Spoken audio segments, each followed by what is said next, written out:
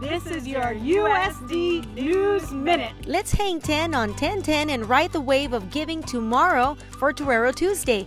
Join alumni, parents, students, and friends from across the world to raise funds that will enhance student scholarships, academic programs, and athletics. Remember, any donation, big or small, matters. Every contribution to USD is important for our Toreros.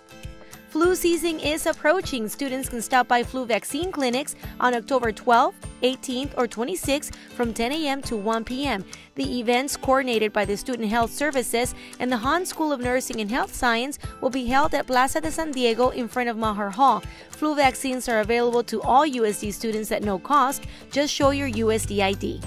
The University of San Diego and the U.S. Naval Academy are hosting the San Diego Veterans Tennis Classic October 13th through the 15th. The intercollegiate tennis matches will be held at the University of San Diego Tennis Center.